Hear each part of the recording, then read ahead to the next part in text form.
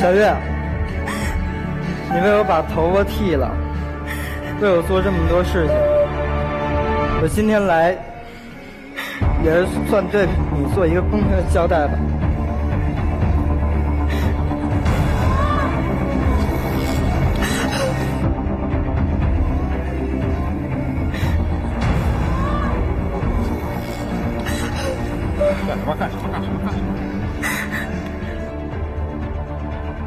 你干嘛呀？然后今哎，天你稍等，稍等，稍等，说清楚。你为什么要理发？我觉得还他一个光头是吧？啊对不起。想表达出你歉意的诚意是吗？我不用你理光头，真的要理吗？理了有什么意义呢？我至少把我心里的想法告诉你。可是你一定要理吗？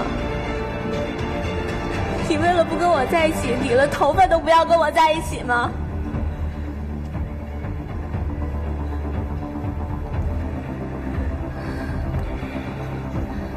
那我给你理吧。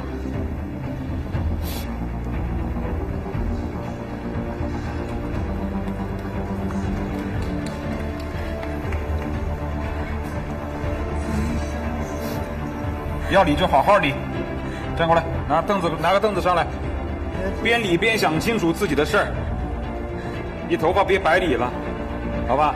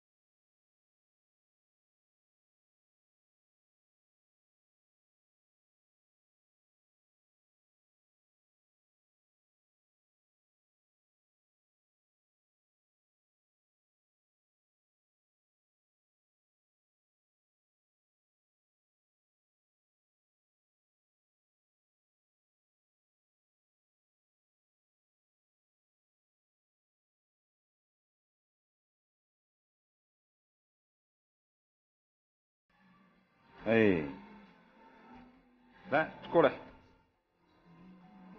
两人都哭什么呀？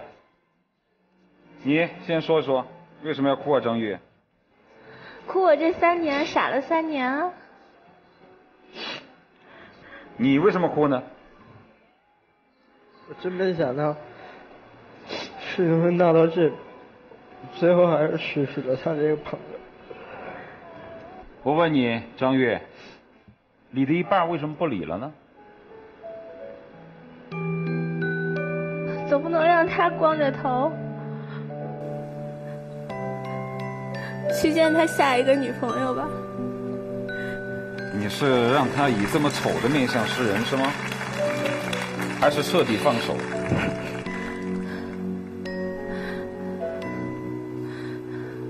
我已经多好玩，是不是觉得很酷很炫是吧？啊？我觉得他就是觉得很酷很炫啊！我可以为男人理发呀，我爱他呀，我为什么不理呢？他就这样的想法呀。但难道我觉得是他以为理个发就可以还给他呀？我们不要随便的去疯狂，也不要随便的去任性。任性和疯狂不一定能够换来真正的爱情。我们爱人一定要爱的方法要对，你让人家害怕，不敢接受你的爱。不要搞这些暧昧的关系。如果你发现对方爱上你，你如果不爱上他，马上当机立断，说清楚。我最讨厌这种形式感特别强的所谓的示爱方式。理个头发就代表我爱你啦？做个行为就代表我爱你啦？就这么形式化啦？为一个人死很容易，为一个人理头发很容易，但为一个人好好活着很难，这才叫爱。好吧，张月，你们各走各路。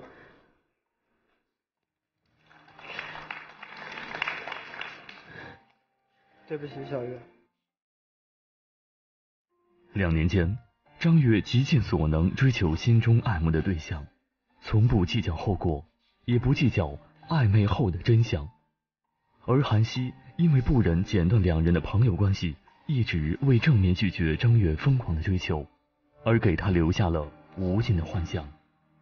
尽管在现场，韩熙试图用自己的头发为暧昧带来的伤害埋单，但是最终两人还是不欢而散。所以在我们面对别人的爱的告白时，如果不爱，就要坦诚的拒绝。